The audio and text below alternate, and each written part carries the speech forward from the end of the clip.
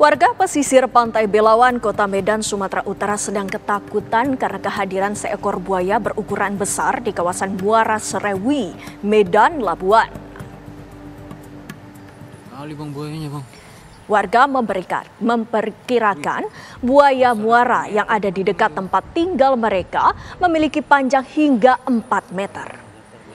Hewan buas ini terlihat berenang di antara pohon nipah di lingkungan satu Seimati, Medan Labuan, Kota Medan. Penduduk merasa keberadaan karnivora ini membuat resah, sehingga mereka takut beraktivitas di dekat sungai. Buaya muara merupakan binatang predator. Hewan ini masuk dalam kategori satwa yang dilindungi. Mangsanya antara lain adalah ikan, amfibi, burung, dan mamalia besar.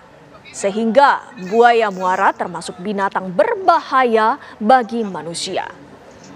Karena itu warga berharap Balai Konservasi Alam setempat untuk turun tangan segera menangkap buaya tersebut. terganggu nggak dengan adanya buaya? Ya terganggu lah, namanya di Palu. Ya kami pun sebagai masyarakat takut lah. Kami keluar masuk Palu. Hmm.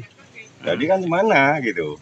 Jadi Pak dengan adanya buaya ini harapan kita sama pemerintah terkait apa nih Pak? Ya mana bagus lah kalau bisa ya masyarakat ini kerja dengan aman, nggak merasa